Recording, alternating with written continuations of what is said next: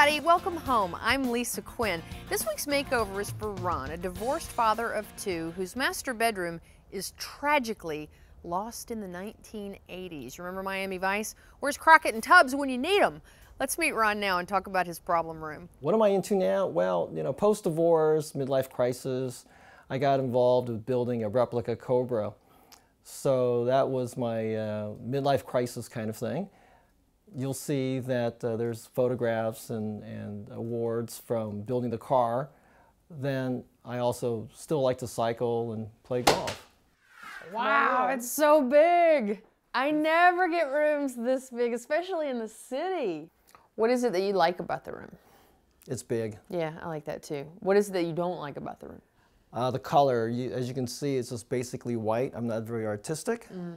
so I leave everything white. I got you. You got a pink accent wall in there too. We can get rid of that maybe? Yeah, that was done when I was married. Mm -hmm. That was our uh, first attempt at getting some color. No, no, no. I like bringing a little bit of color into the room, but maybe we can just do something a little, I don't know, a, a little more rich looking yeah. throughout the room. Yeah. Um, as far as the furniture pieces, are you um, attached to any of them? Would you care if we None. replaced anything? Okay. You could place everything. All right, good. Uh, this is stuff that we've had uh, when I was first married. Mm -hmm and that was a long time ago. And now I've got a girlfriend, and she doesn't yeah, like the of course old not. furniture. No, you got to give an update. Sure. I understand.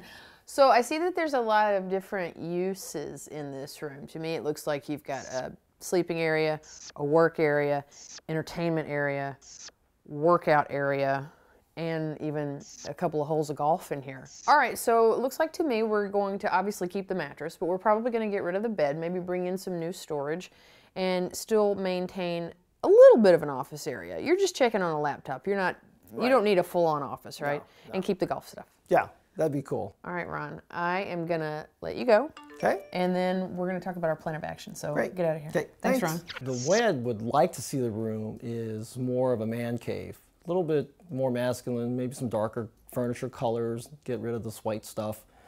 Uh, some nice colors on the wall, and uh, maybe uh, more stuff with uh, cars on it, just just to you know identify with what I kind of do right now, and uh, just a better feeling for my girlfriend as well, so she feels more welcome over here. I'm gonna repeat it. I've never been in a room this big. I don't know what I'm gonna do with all this space. It's fantastic. There's so much elbow room in here, and the fact that he does want a couple of different purposes in this room is going to be great because we got plenty of room. I love the golf stuff. I think that's hilarious. Maybe we can even run with a theme like that inside the room. We'll keep the golf.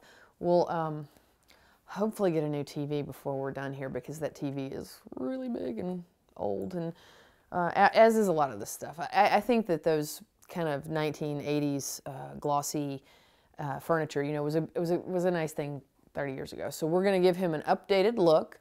And as I always do, I think I'll probably replace those Venetian blinds. Not only are they, you know, the skinny metal kinds that I don't like, but they're mauve, which is so Miami Vice, which had its time, but that time's not now. So we're gonna pull all the furniture together, get uh, Moondance Painting to come in and paint. I think what we're gonna do is something a little more masculine, a little more rich than the white with the pastel pink wall. Bring in something uh, warm that will sort of unify this whole space. We got a whole lot of crazy stuff going on in here and we want it to be more soothing on the eye because it's a bedroom after all. So I guess we get started pulling stuff off the walls now.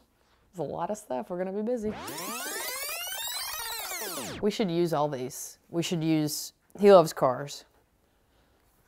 And he's got some really cool artwork of cars. And so instead of sitting these on the floor, we should, they should be up on the wall. We certainly would not be getting anywhere without the big, brawny, handsome help from Junk King today. They're taking a lot of stuff out of the room, thankfully for us. It's not like he knew where any of this stuff was anyway, right?